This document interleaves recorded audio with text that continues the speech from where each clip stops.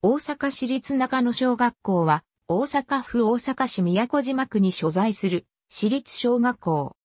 1925年に大阪市都島尋常小学校の分校として設置され、その後1927年に宮古島第二尋常小学校として独立校となった。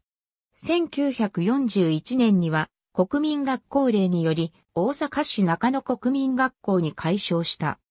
1944年には国民学校児童を対象に学童疎開が実施されることになり、宮古島区の学校では石川県に集団疎開を行うことになった。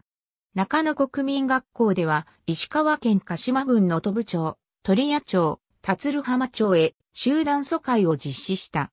1945年4月7日には、疎開先の宿舎が火災にあったが、児童や引率の教職員に人的被害はなかった。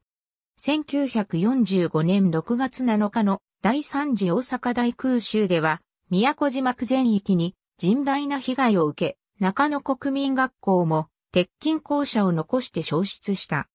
戦災による校舎、校区への被害により、終戦直後の1946年4月1日付で、近隣の宮古島国民学校、東都島国民学校の2校が休校措置となり、両校を中野国民学校に統合している。